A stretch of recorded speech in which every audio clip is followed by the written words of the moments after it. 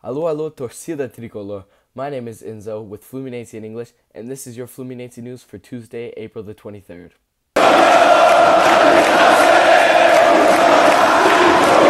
To start off, I think we need to talk about the thing that's on everybody's mind, which is Thiago Silva's eventual return to Fluminense.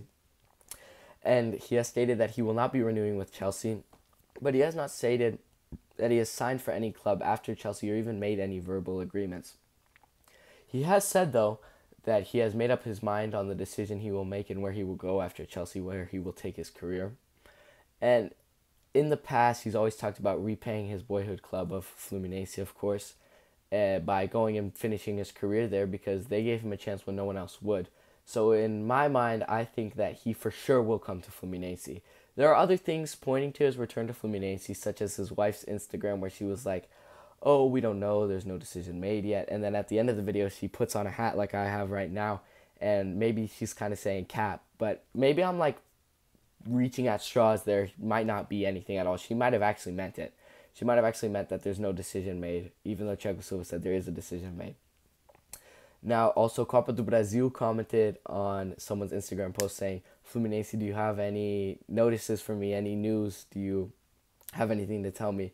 So I think that's definitely talking about Thiago Silva.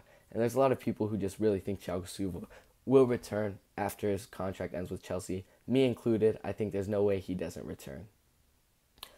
Now, Thiago Silva returning to Fluminense doesn't mean that we should be focusing completely on Thiago Silva. We have such a big team and full of great high quality defenders and I think Diniz really needs to realize that and although we do need more defensive signings if we want to win something big like the Copa do Brasil or the Libertadores, I do think that we need to realize all the potential we have. Even the Moleques de Xerém, they're really good. The youth squads, all of them, they're great. And they need time, but you need to give them that playing time so they can develop. And sometimes that's going to mean conceding a goal or conceding a play because they're still kids, but it's better to concede a play with a youth defender than playing an attacker on defense, which is just something that's inexcusable and I did not like to see against Bahia.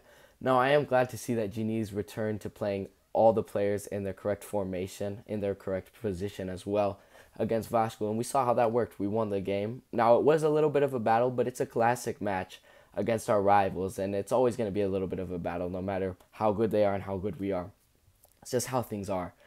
But um, I think it's great that we're back to this, and I hope we can stay this way so we can win a Copa do Brasil or Libertadores this year. Now, we didn't win the Carioca, which is kind of a bummer, but we don't need it. And I don't think winning the league's in our cards for this year because there's teams like Palmeiras whose depth is so big they can focus on every competition and still be okay. But I don't think we need to focus on the league this year. We can finish ninth place like we did last year and win the Libertadores, or even just finish in a Libertadores spot and win the Copa do Brasil. It's up to Diniz and the team there at Fluminense who wants to decide what they're going to focus on this year, of course. Saturday, Fluminense and Live will be doing a live where we talk about things like this, talk with the chat, and just discuss opinions in general. So if you want to be there, there will be more information about that in the description. Moving on to some news news. Um, the game against Sampaio Correia for the first round of the Copa do Brasil that Fluminense will be playing will be played on May 5th in Espírito Santo, so not Maracanã. So if you're from Espírito Santo, go show up and show your Fluminense passion, your pride for the club. And if you are from Espírito Santo, leave it in the comments below. I'll be trying to reply to as many of those as possible, as well as Instagram DMs on my personal account. I will be replying to all of those.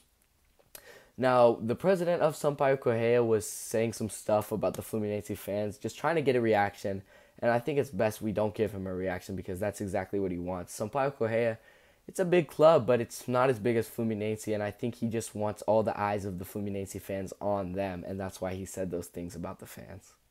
A little bit of transfer news here. Marcos Pedro has been sent to Mineiro side Tombense until at least December to play the third division of the Brasileirão stating the Fluminense stated that there's no space in the club for him, which makes sense as we have some of the best attackers in the Brasileirão right now with Germán Cano, João Arias, and Marquinhos, JK. Like we have this great team and there's not much room for subs and much less reserves. So if he can go to Tombense and get some playing time, I think that's a great move for him and I wish him the best. Now, some amazing news for injuries. Kanu and Renato Augusto have been cleared and are expected to play the game on the 25th. And I think these are two great players. Renato Augusto obviously being a veteran, and Kanu being um, a starting 11 quality player, but I don't think he will be on the starting 11 for a while due to the fact we have Marquinhos and João Arias there. And I believe that Andre and João Arias will leave this year, which they're the two best players on the team, in my opinion. João Arias, number one, and Andre, number two. João Arias, we need that guy to run down the pitch and just give us attacks and create these plays. But um, Cannon will kind of be good to fill in the void when he leaves eventually. And Andre, he's kind of that uh, key, the last piece in the puzzle that just makes everything click. Um, so his absence will definitely be felt, and I hope that we have a good replacement for him. If not, we're gonna have to change up our style of play a little bit because it's really just that guy who's always there. And um, I hope we can get it all done together. Of course, we're gonna talk about this more on Saturday in the live with you guys. Get your opinions, talk about our opinions. Maybe I'll change my opinions. Uh, you might change your opinions. We'll just talk about the facts and It'll be a lot of fun. So make sure you're there on that live on Saturday. More details, obviously, in the description down below. That's all for today. Um, that's all the news I have for today. Uh, this week I'll have another segment in Portuguese. So if you speak Portuguese, tune into that one. My Portuguese might not be the best, but I can get the message across. I speak Portuguese.